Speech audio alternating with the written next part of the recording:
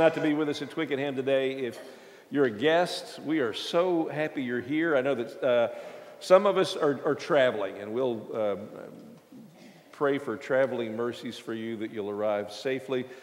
I know that uh, some of you are in town visiting with relatives for the holidays, or you have relatives visiting with you for the holidays, and so we'll pray for patience for you, okay? And we've all just been downstairs and uh, eating donuts, and we'll have a sugar crash about the time the sermon starts. So it'll be, be a great day. Hey, if you're in town and visiting, we're glad you're here. If you are from town and looking for a church home, we are really honored that you've uh, chosen to join us today. Thank you for coming. There is a card on the seat in front of you. You can fill that out and place it in the collection plate when it passes. Indicate any prayer requests there. That would be great. And we'll be praying about those as early as this afternoon. Just thanks for coming out on a messy Sunday morning. But you're in here now, and things are warm and bright, and we are blessed to be together. Last week, we began our service uh, by praying for one of our new babies. We, uh, one of our traditions here at Twickenham is that when there's a new birth, we begin our service uh, with a prayer for that little one. And today, we're going to begin with a different kind of new birth. A, a couple of our young people have decided that they want to give their lives to Christ in baptism. These are two great kids. Uh, they are the son and daughter of James and Heather Taylor. It's Joshua and Sydney. And they, I love these two kids. They're great. Walton Harless is one of our shepherds, and he's going to do the honors here. Yeah, this is, this is Joshua Taylor. Uh, many, most of y'all have watched Joshua grow up in this church. Uh, many of you have had him in class, been at summer camp or other youth activities we've gotten to know him. Josh has been taught, and uh, most particularly at home, uh, with example, with, with teaching, with, the, with discussions. He has been ready for this for a while, and uh, he's, he's going to be 12 next month, I believe. But uh, this has been, because Josh was, he's a very smart kid. Uh, he's good in school. He plays a lot of sports, plays in the band now. Um, he has a lot of gifts talents from God, but he knows that he can't do it all by himself. There are limitations that God, that Jesus has to resolve. So he can't, uh, he can't earn his own salvation. He can't uh, reconcile himself to God. He can't be righteous before God, but he knows and trusts in Jesus Christ. So I'm going to ask you a question, Joshua. And uh, I know God and all of these witnesses and even the angels in heaven want to hear your response. Do you believe that Jesus Christ is the Son of God who died for the remission of sins? Yes. You will be blessed today and forever for that confession. And upon that confession, I can now baptize you in the name of our Father God, of Jesus, and in the Holy Spirit for the remission of your sins and for the gift of the Holy Spirit.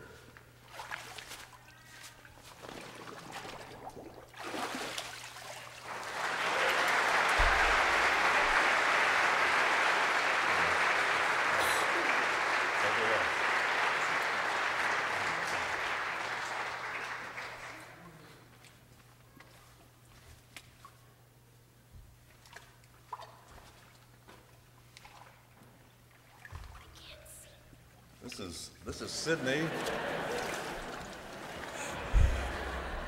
This is Sydney Taylor. She has been talking about this a long time. Sydney has she has just a tender, tender heart. Um, whether you know it or not, she she prays. She prays for you. She prays for people by name, and she lifts up prayer requests. She has a tender heart, but she knows that she needs Jesus as her Lord, as her Redeemer, as her Savior. And so she has been looking forward to this day for a long time. And uh, so now, Sydney, I'm going to ask you a question. And I want God and I want all these witnesses and even the angels in heaven to hear your response. Do you believe that Jesus Christ is the Son of God who came and died for your sins, for the for uh, for remission of your sins, and for the for, to enable you to be one of His children? Yes. Well, based on that confession, I'm now going to baptize you in the name of the Father and the Son and the Holy Spirit.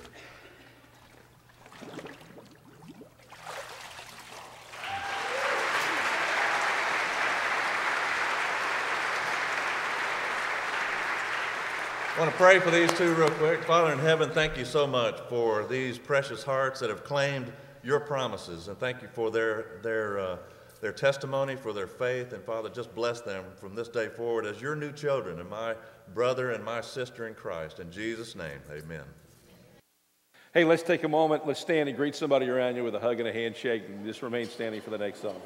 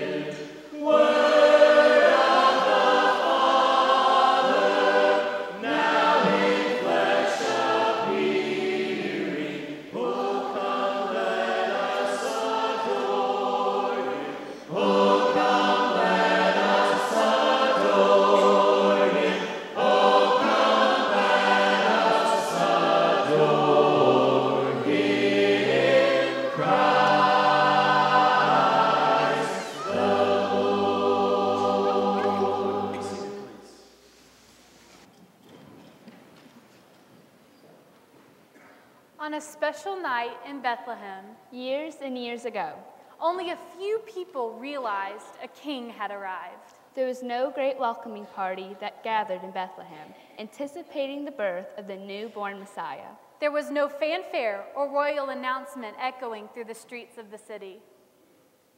There was only a quiet welcome by two parents that realized they had witnessed the glorious birth of a very special baby, The baby, the angel said, would be called Jesus. the one who'd be the Savior of the world. Let's take our offering. What hope we hold this silent night. A king is born in Bethlehem. Our journey long,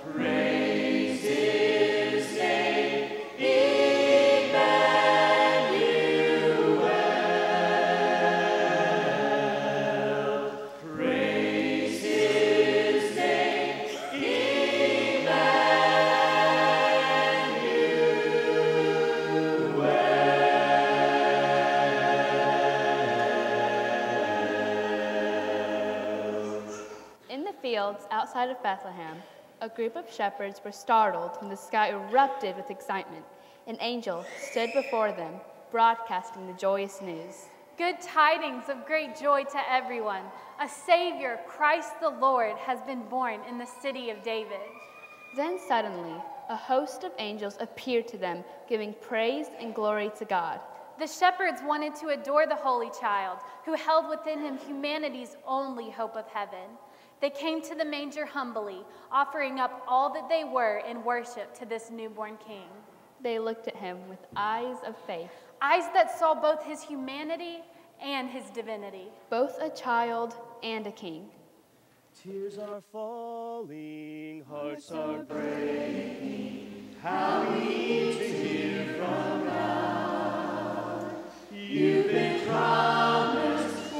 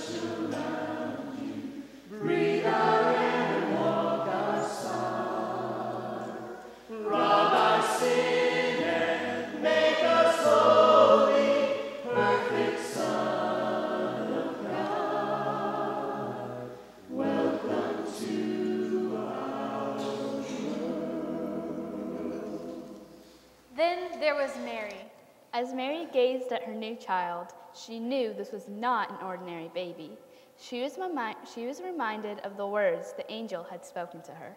You will give birth to a son, and you will call him Jesus. He will be great and will be called the Son of the Most High. His kingdom will never end.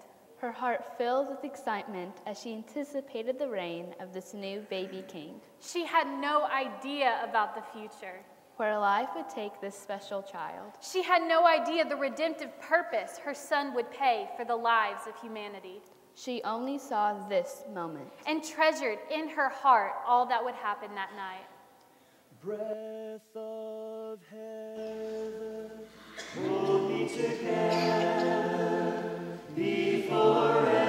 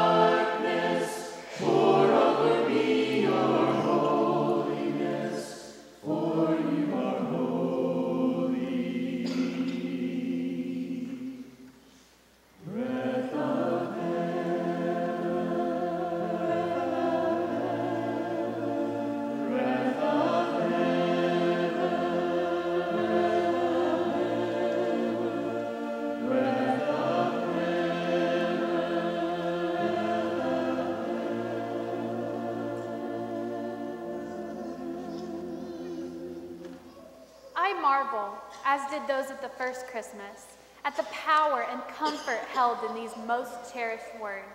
Peace on earth, goodwill toward men. God has made his peace His acceptance. available to us through his Son. It's that simple. It's that amazing. But those words were not only meant for Bethlehem 2,000 years ago. They are still relevant to us today. God still offers this good news to everyone. If you listen with your heart, you'll hear it again. O come,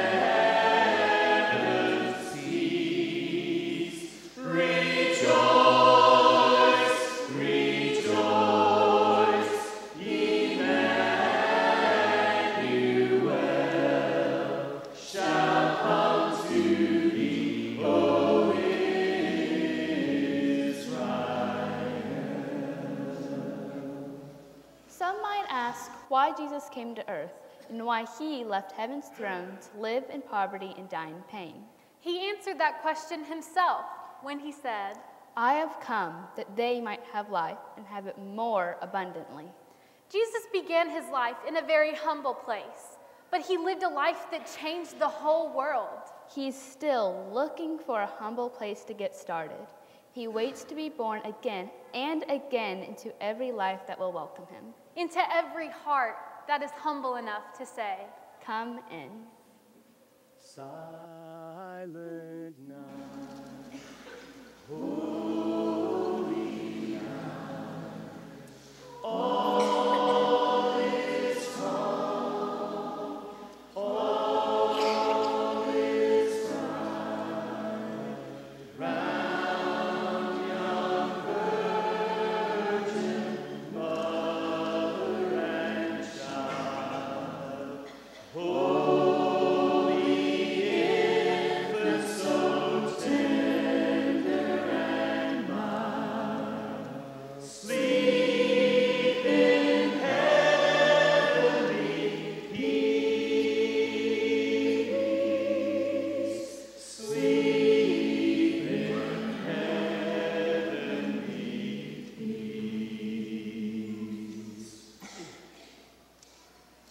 Christmas Day of 1944, our Brea Faye Smith of Lubbock, Texas, answered a knock on her door.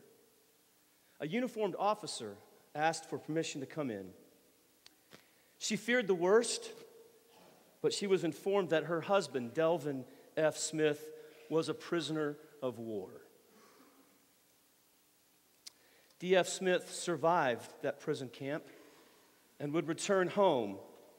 The 9th U.S. Armored Division, followed by the 1st Infantry, broke through crumbling German resistance at Limburg, Germany, and freed the prisoners at Stalag 12.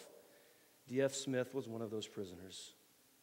He later was an elder at the church where my father preached in Lubbock, Texas, and where I attended when I was in college. D.F. told my dad that on Christmas Eve of 1944, in Stalag 12, he was one of the American soldiers who sat in the dark, lonely silence, each one thinking about home, about their wives, children, and families. He said that the night before, the Royal Air Force had missed their target, which was the railroad tracks nearby, and instead they hit the prisoner of war camp. There was a direct hit on the American officers' barracks that killed nearly every man living there. The next day, they were assigned to the task of digging graves to bury their friends. The windows of most of the barracks had been broken and fallen out. They tried to keep some of the cold air out by placing cardboard over them. There was no heat. They lay on the brick floor on top of a thin layer of straw. Each man had one ragged blanket for cover. He said that at last, a lull came in the bombing. He was once again alone with his thoughts that turned to home and Christmases past when there was no war. Many of the men wept openly as they spoke of those memories. D.F. Smith tried to remember every Christmas present he had ever received. He tried to remember every home that he had spent Christmas in. He tried to picture in his mind the faces of his mother and father, and especially the face of his dear young wife. He also tried to still his fears that he would never see those precious, beloved faces again. The dark silence of that night was broken as one of the prisoners began singing Silent Night.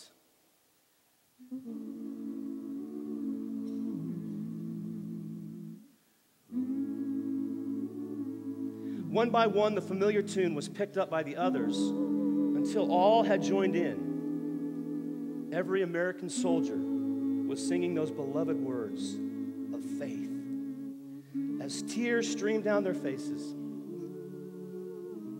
To their surprise, the German guards began to sing in their native tongue the grand old carol. As the last note faded, there was a deep silence, and peace on earth reigned in Stalag 12. Even though he was not a Christian at the time in that prisoner of war camp so far from home, D.F. Smith felt an inward calm because the Christ child had come into the world. When he came home, that incident never left D.F. Smith. It changed his life forever because he was determined to know more about this child who became a man. As we have celebrated this child, so also do we celebrate the man who would give his life for each of us. And we remember that each and every week when we take this bread and this cup. And I hope that you will especially be mindful of it this morning and in this time of year. Let's pray together.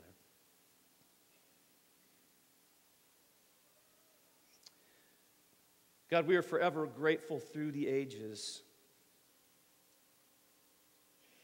for the promise of a son and the giving of a son. A son who would give in return so much more than we could ever give, who would give his life, who would give his body and allow it to be broken on a cross on our behalf. And so we remember the baby and we remember the man as we share this bread together. And we pray this in Jesus' name. Amen.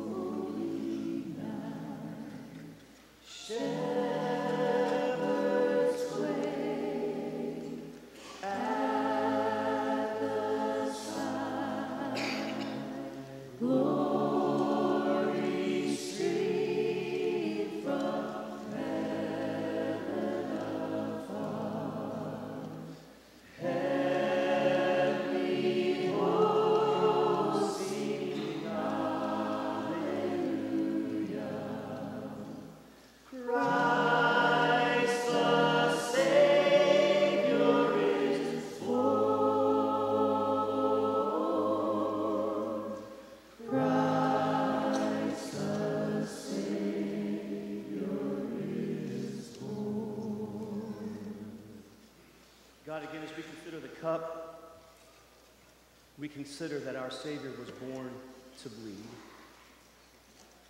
that a crown of thorns would pierce his brow, nails would pierce his arms and his feet, and a spear his side.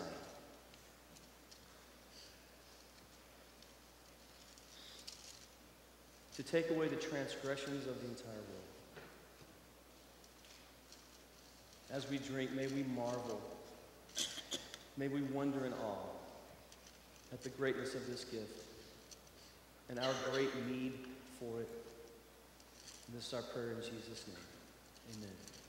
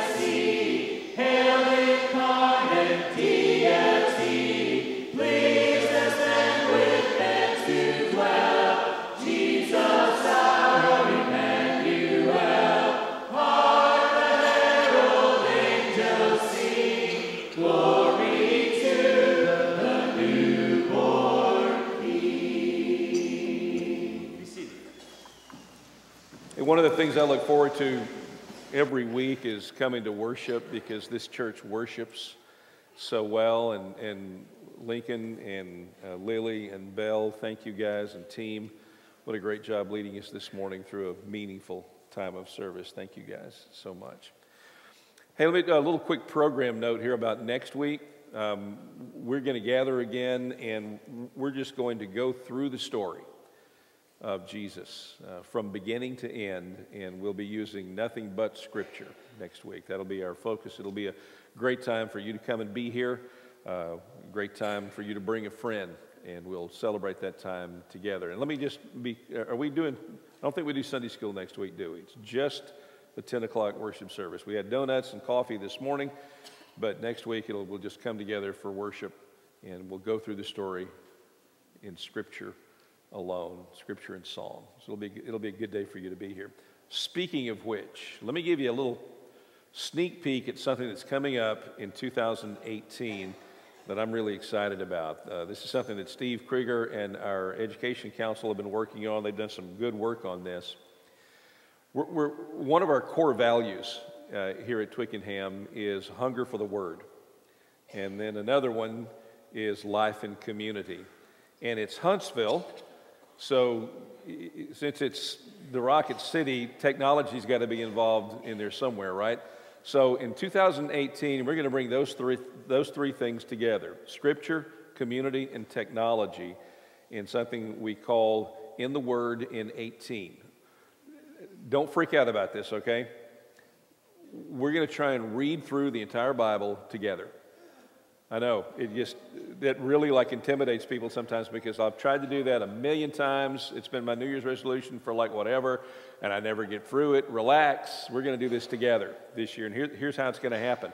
We're, we're going to make available to you a free app that goes on your device, your phone, or, or one of your devices, and it will gently lead you through that process. Then on Wednesday nights, we're going to come together as a community and talk about the stuff we read the week before.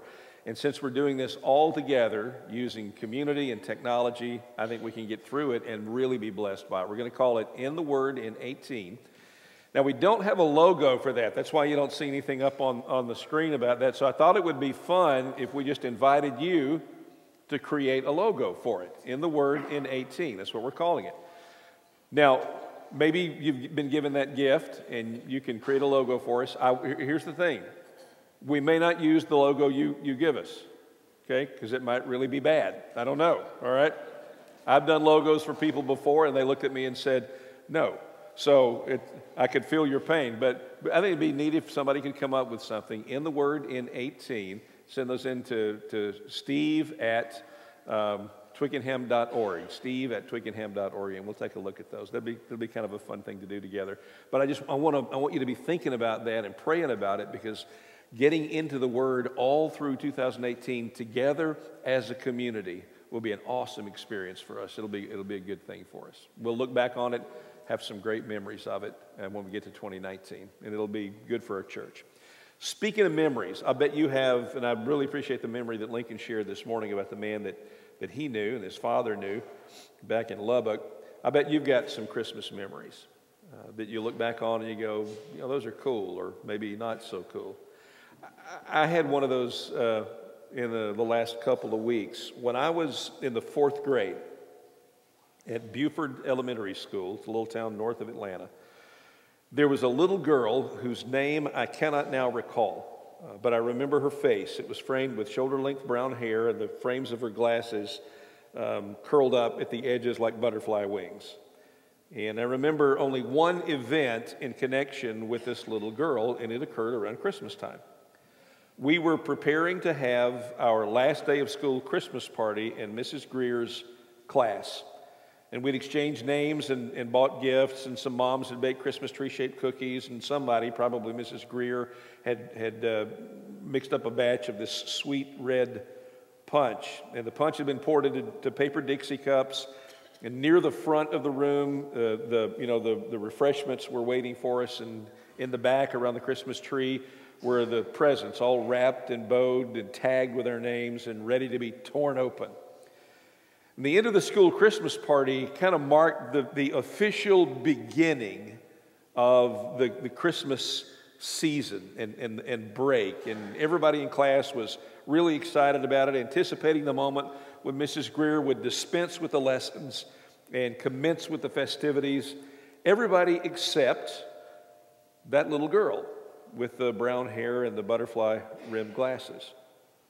Just as the party was about to begin, a woman that I took to be her mother appeared at the door with a note from Mr. Avery, our principal. And she came to take the girl out of class. And she was an unusually serious looking woman to me, actually, a little severe looking. And the little girl didn't look at all glad to see her. Uh, nevertheless, she packed up her things and left. She didn't eat any cookies.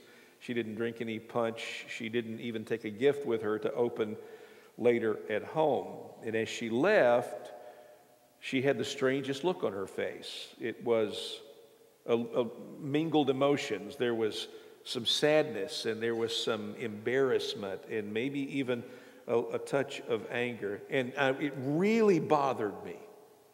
And so I asked Mrs. Greer why she had to leave. And Mrs. Greer said, Well, her family doesn't celebrate Christmas.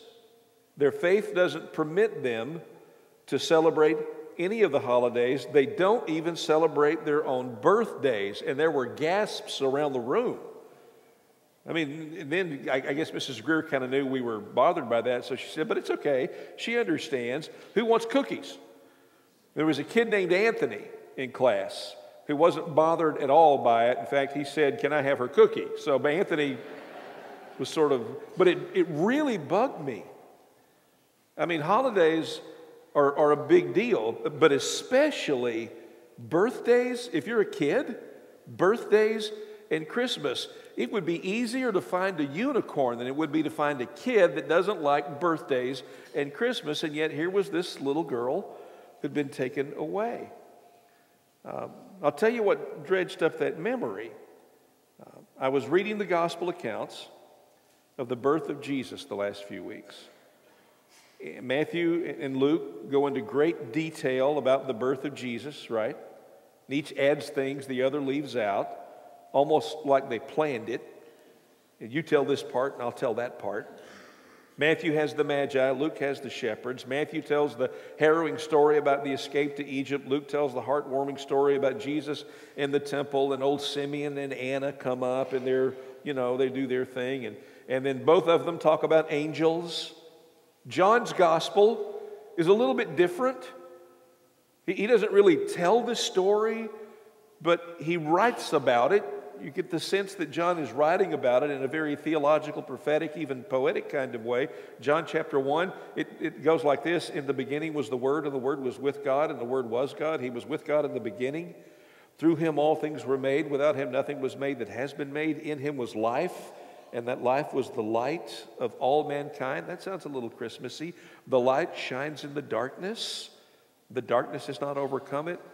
The Word became flesh, that sounds like Christmas, and made his dwelling among us. We have seen his glory. Glory is a Christmas word. The glory of the one and only Son who came from the Father, full of grace and truth. It's not quite as Christmassy as Hark the Herald Angels Sing, but it's very beautiful. It adds some, the- John adds some theological depth to the accounts of Matthew and Luke. And then there's Mark the Gospel of Mark. Mark doesn't tell the story. Mark skips the shepherds and avoids the angels. He doesn't mention Mary or the manger. He ignores the unwilling innkeeper. He's silent about the star, not a whisper about the wise men. In Mark, there are no cookies and punch. There are no presents to open. There is no mysterious Christmas wonder. Mark reminds me for all the world, like that severe looking woman who came and took the little brown haired girl out of Mrs. Greer's fourth grade class before she got to enjoy the cookies and punch. And it bothers me still. Why, does not, why doesn't Mark tell the story? Maybe he hadn't heard it, right? I mean, we always assume that, that the people in the Bible knew everything about everything. But that's just not true. You know, all through the Gospels, especially in the Gospel of Mark, The disciples keep missing the point, and when Jesus asks a question, they always seem to give the wrong answer. So just because Mark is in the Bible doesn't mean that Mark knew everything about everything, but we know that he knew about Mary because he mentions her in chapter 3. He mentions Mary, the mother of Jesus. And we know that Mark was acquainted with people who knew the story of Jesus' birth, so I can't imagine Mark didn't know it. But maybe Mark was kind of a first century Scrooge. You know, humorless, serious, insufferably sober minded. Maybe he didn't like mystery. He just wanted to get down to business. But his gospel is full of mysterious stories stories about demons and miracles. And, and as, as more than one commentator will suggest, if you take a look at them, Mark leaves his readers with more questions than answers. So you can't say that Mark doesn't like mystery. Mark is very mysterious and serious and sober minded. Well, at the end of his gospel, he tells the story. If you haven't read it, you won't even believe this is in there, but it is. At the end of his gospel, he tells a story about a young man who was with Jesus when Jesus was arrested by the Romans. And when the Romans grabbed the young man by the robe, he twisted out of it and ran naked out of the garden. That's in there. So you can't say Mark is Mr. Sober minded all the time. And I'm pretty certain it wasn't a faith, faith issue with Mark like it was for the little girl in class so many years ago. Matthew and Luke certainly didn't have a problem with celebrating the coming of Christ by telling the story. So, why don't we do this? Why don't we just listen to Mark, the first 11 verses? Let him tell us what he wants to tell us. This is Mark chapter 1, beginning in verse 1. The beginning of the good news about Jesus the Messiah, the Son of God. As it is written in Isaiah the prophet, I will send my messenger ahead of you who will prepare your way. A voice of one calling in the wilderness, prepare the way for the Lord, make straight paths for him.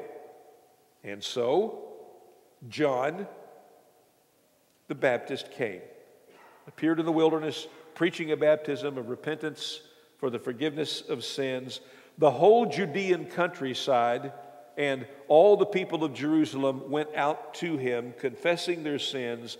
They were baptized by him in the Jordan River. John wore clothing made of camel's hair with a leather belt around his waist, and he ate locusts and wild honey. And this was his message After me comes the more powerful, one more powerful than I, the straps of whose sandals I'm not worthy to stoop down and to untie. I baptize you with water, but he will baptize you with the Holy Spirit. At that time, Jesus came from Nazareth in Galilee and was baptized by John in the Jordan.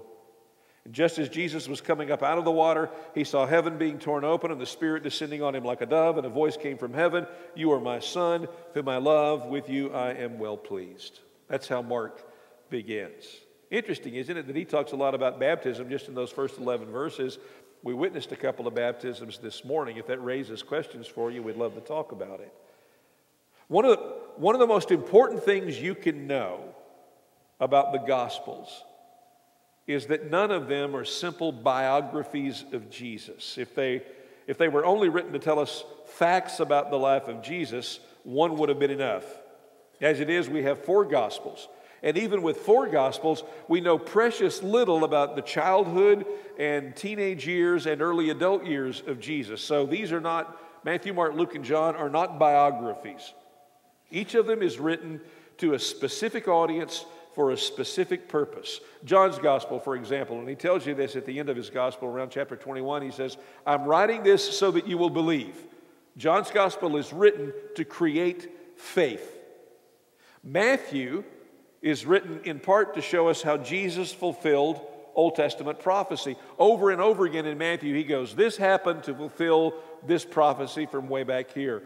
Luke, one of Luke's purposes is to show how Jesus reached out to people who were marginalized, people who lived on the edges, people who were not always included women, children, the sick, Gentiles. So, what was Mark's purpose? And why did he leave out what is, for many of us, the best part? There's a very strong clue in verse 1. Mark's first word in the original language is the word beginning. And the second major word in his first sentence is the word gospel. Both of those words come loaded with a lot of freight. They're carrying a lot of freight. If they were a transfer truck, they'd have a hard time going up Monte Sano. Now, you probably figure out why the word beginning is important. You remember these famous words In the beginning, God created the heavens and the earth. That's Genesis chapter 1, verse 1, the first verse in the Bible. So when Mark begins with the word beginning, he is saying something like this In Jesus Christ, God did something so powerful, so revolutionary, so earth shaping, that it can be compared to when God created the world itself. That's how big this Jesus thing is. So, what about the word gospel? Well, originally, the word gospel was not even a Christian word. It was used by Romans in the first century as a greeting, and it meant joyful tidings. So, Mark chapter 1, verse 1 could be translated the beginning of the joyful tidings about Jesus Christ, the Son of God, which sounds a little more like Christmas, right? But I don't think Mark is trying to sound all jolly and bright. So, what's he up to? Years ago, archaeologists discovered uh, an ancient inscription regarding a Roman emperor named Caesar Augustus. Now, if that name sounds familiar, it's because you've heard it recently in this Christmas season. Luke talks about it. In those days, Caesar Augustus issued a decree that a census should be taken of the entire Roman world, and everyone went to their own town to register. So Joseph also went up from the town of Nazareth in Galilee to Judea to Bethlehem, the town of David, because he belonged to the house and line of David. He went there to register with Mary, who was pledged to be married to him and was expecting a child. Caesar Augustus was on the Roman throne when Jesus was born. So here's what that ancient inscription that the archaeologists found said. Here's what was written on it The birthday of the god Augustus was for the world the beginning of joyful tidings which have been proclaimed on his account. The birthday of the god Augustus was for the world the beginning of joyful tidings. Here's Mark 1 1 again. The beginning of the joyful tidings about Jesus Christ, the Son of God. Why does Mark begin this way? Why does he leave out the part about the precious baby born in the manger, welcomed by angels, visited by shepherds, celebrated by wise men? I think Mark begins this way because he's making a political statement. Mark begins this way because he means to confront the powers and authorities of the world, not with a weak and vulnerable baby, but with a powerful and conquering king. Herod had it right. Herod knew there was a threat to the throne. Mark knows that too. Look, sometimes you and I need the baby in the manger. We need to know that God approaches us in weakness and vulnerability because we are often weak and vulnerable. Knowing that God knows what it feels like to be powerless and dependent and helpless and frail helps us trust Him. It means that even if we are unwell and unstable and incomplete and broken, there is room for us in God's world. There is room for us in God because God understands that. But if an approachable God is all we have, we may well feel understood and affirmed and accepted, but we will never be healed, delivered, and set free. And so Mark gives us the grown up Jesus, the Jesus that possesses power and authority, the Jesus that comes with some demands for obedience and worship and allegiance, the, the Jesus that comes with a specific goal and that is to be the sovereign in our lives, to completely rule over our lives. Preparing for this Jesus requires a bit more than decorating the house with lights and holly. Mark says that, that, that when John came to prepare the way for Jesus, remember we read that part a second ago? John came to prepare the way for Jesus. He preached a baptism of repentance for the forgiveness of sins.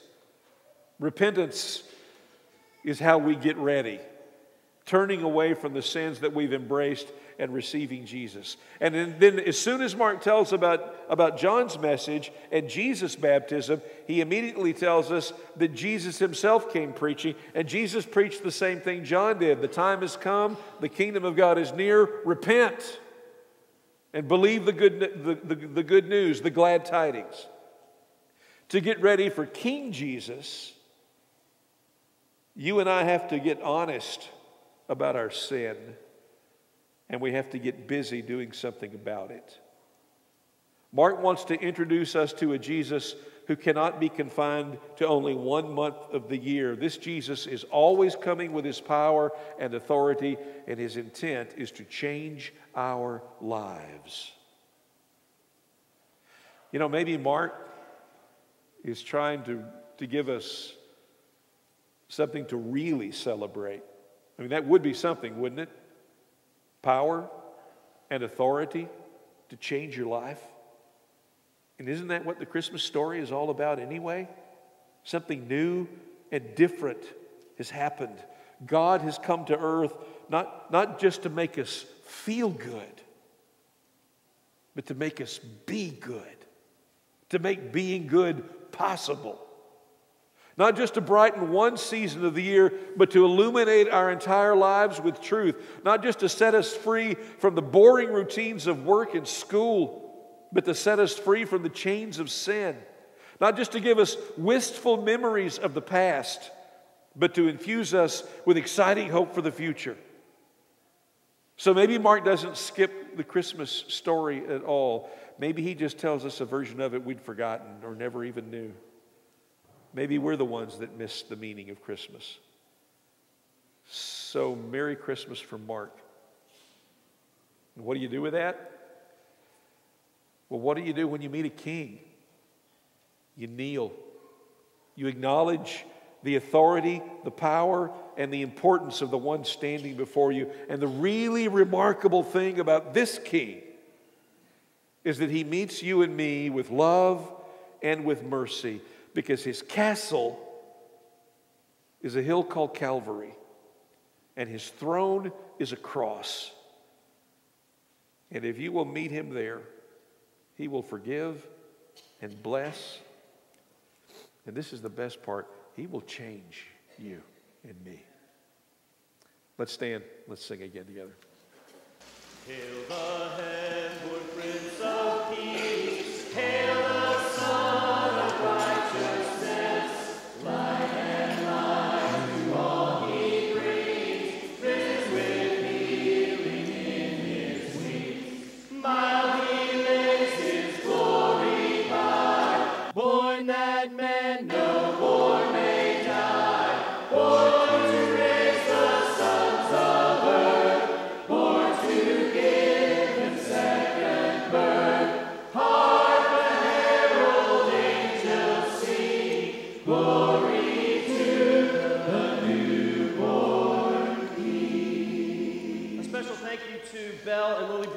helping me this morning. Thank you. Thank, thank all of you for being here. We do hope you have a great week. Um, don't forget Christmas, spring, and dessert Wednesday night at 6:30 right here. And then, as Jody mentioned, no class next week, 10 o'clock service. And uh, congratulations to Jody and Lisa who have a brand new grandbaby named Rowdy. Rowdy, destined for problems there. Rowdy. Got to live up to that. Hey, let me pray a blessing over you as we go today. God, thank you for all that you do for us. Thank you for shining your face upon us, and may you continue to shine. Bless us with peace through this season. May we see mangers and shepherds and wise men. May we see Jesus in all that we do and say. In his name we pray. Amen. a poinsettia, if you paid for a poinsettia, you can pick that up today. So if you got a poinsettia, please get those today. Thanks.